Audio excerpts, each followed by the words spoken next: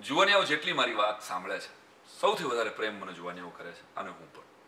હું ક્યારેય જુવાનિયાઓને બગડી ગયા છો અને હે તમે બધા સોશિયલ મીડિયા મૂકી દો અને હે તમે બધા આમ હું ક્યારેય કહેતો નથી.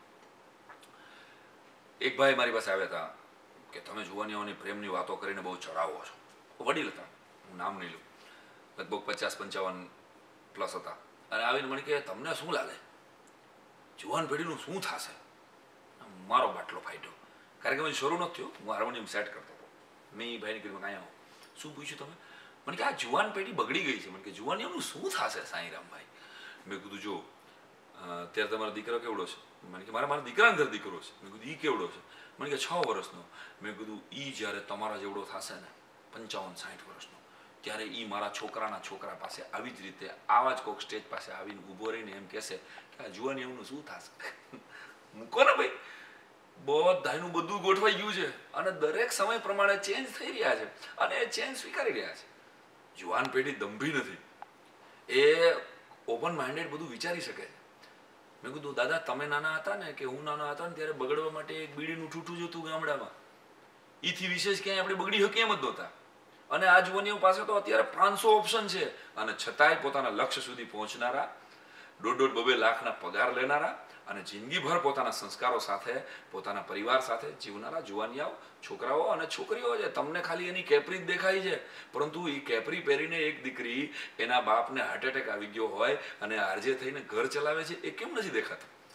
તો એવા જુવાનિયાઓ માટે, જ્યારે પણ જિંદગીમાં અટવાવ ને, ત્યારે અક્ષરની આંગળી જાલીમાં એક ગઝલ મેં માત્ર તમારા માટે લખી દીધી, જે તમને કદાચ ગમશે.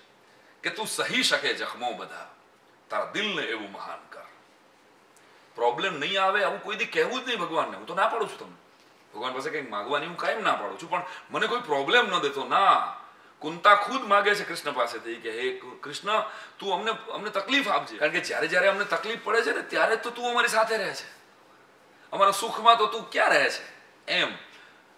તું અમારા, અમારી તકલીફોમાં, એમ ઈશ્વરને ન કહેવું કે અમારા પ્રોબ્લેમ કેવા મોટા છે. હા પ્રોબ્લેમ ને એ જરૂર કહેજો મારો ઈશ્વર બહુ મોટો છે.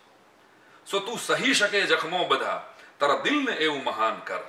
તારું લક્ષ્ય નભથી દૂર છે. તું ગગનથી ઊંચી ઉડાન ભર.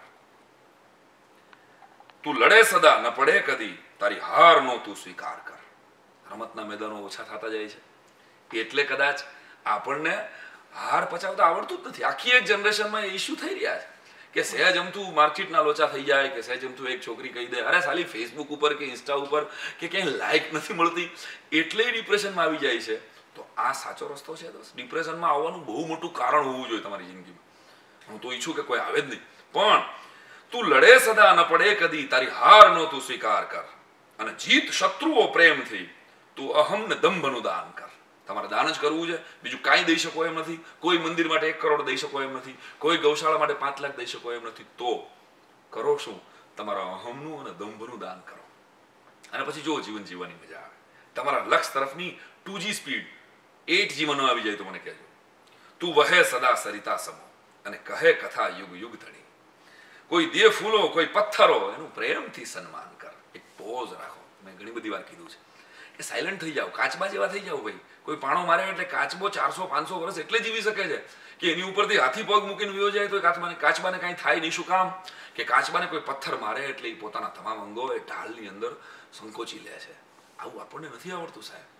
કોઈ એક જરાક અમથું અપમાન કરી દે એ અપમાનના ડંક સાથે સાલું આપણે આખી જિંદગી જીવીએ છીએ. ફલાણા માણસે મને ગાળ દઈ દીધી. ફલાણા માણસે મને હર્ટ કરી દીધો. ફલાણી છોકરીએ મને હર્ટ અરે યાર.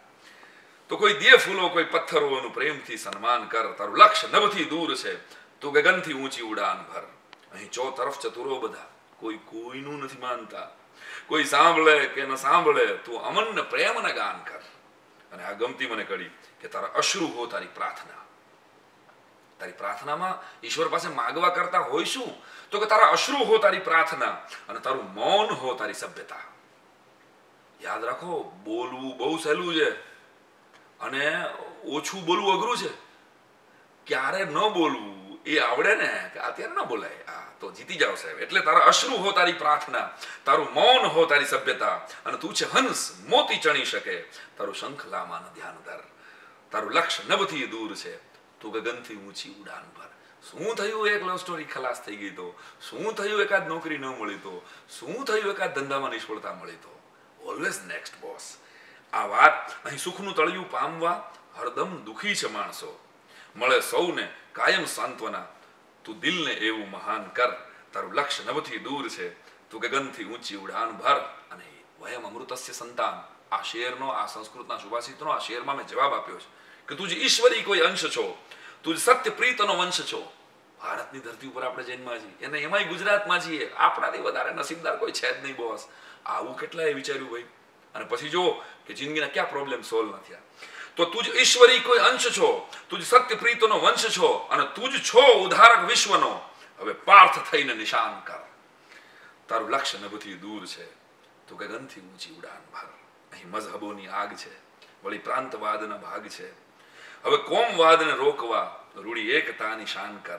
ન મંદિરો કે ન મસ્જિદો, ન તો ચર્ચ કે ગિરજા ધરો. તારા દિલને પ્રથમ તું સાફ કર. પ્રભુને પછી મહેમાન કર. તારું લક્ષ્ય નભથી દૂર છે. તું ગગનથી ઊંચી ઉડાન ભર. અને છેલ્લો શેર, કે ન જપ કે તપનો રંજ કર. દીવો નથી થતો, અગરબત્તી નથી થતી, તીર્થધામમાં જવાતું નથી. આનું ક્યારેક દુઃખ થયા કરે છે. કોન્શિયસ બાઇટ થતું હોય કે હવે બધા જે મારા વડીલો જેટલી પવિત્રતાથી જીવ્યા, તો ધાર્મિકતાથી જીવવું અને આધ્યાત્મિકતાથી જીવવું, આ બંનેમાં ફરક છે. કેટલાક લોકો મંદિરોની અંદર જ રહે છે અને છતાંય ખોટા કામ કરે. રોજ મંદિરે જતો હોય અને પાંચ કરોડ નો દેશને ચૂનો લગાડતો હોય, આવાય છે. અને કોઈ દિવસ મંદિરે ન જતો હોય. અને છતાંય નીતિથી, પ્રમાણિકતાથી અને ધર્મથી જીવતા હોય, એવા પણ છે. સો, છેલ્લા શેરમાં જવાબ છે જપ કે તપનો રંજ કર, ના તીર્થ ધ્યાનનો દંભ કર, સાઈ રામ આવે ગોતવા. જો તું કર્મને ભગવાન કર, તારું લક્ષ્ય નભથી દૂર છે, તું ગગનથી ઊંચી ઉડાન ભર, તું સહી શકે જખમો બધા, તારા દિલને એવું મહાન કર. તો તમારો ટોલરન્સ પાવર વધારો દોસ્તો. સહન કરી શકો, તો જ તમે જીતી શકશો.